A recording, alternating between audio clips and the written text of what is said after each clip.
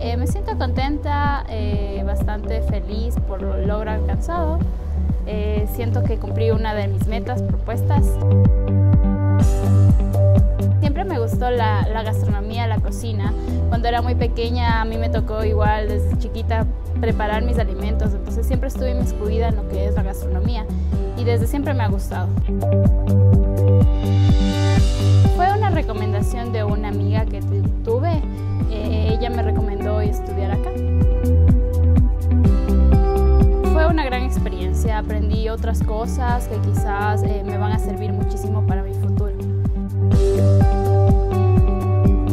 Me siento más enfocada a lo que es la pastelería, entonces recuerdo más eh, mi proceso cuando pasé lo que es pastelería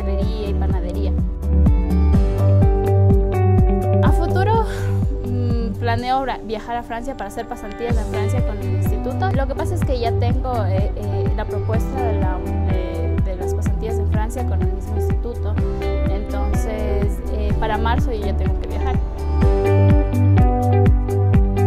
Que le ponga mucho empeño, que hay, como en todas las profesiones, creo sus momentos altos y bajos. también que, sean, que se esfuercen al máximo y que den siempre